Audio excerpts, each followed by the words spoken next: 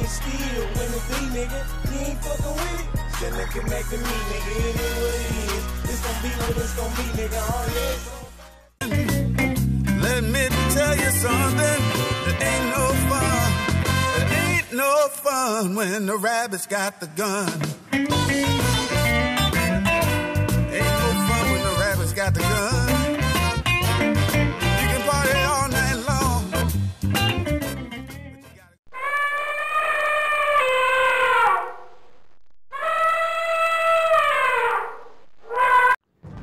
Recently, a prominent brother in the quote unquote conscious community posted a video that claims Araminta Minty Ross, who we now know as Harriet Moses Tubman, freed her brothers Robert and Ben Ross on Christmas Day.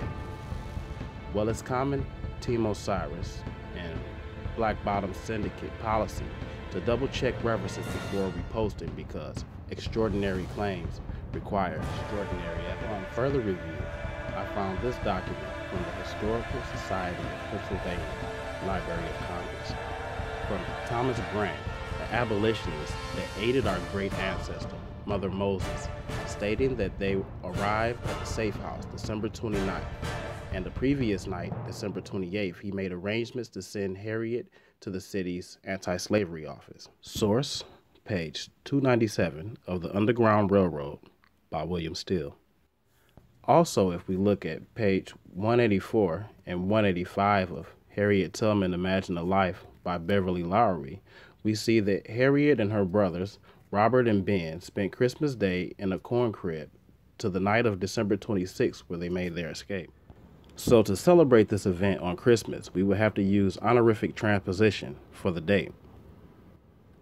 The tale using the date of December 25th became popular by Go Tell It, a Harriet Tubman Christmas story.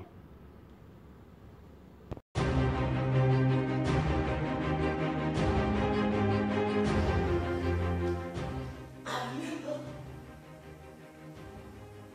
I remember watching my sister, Jenny, be away at the chain gang.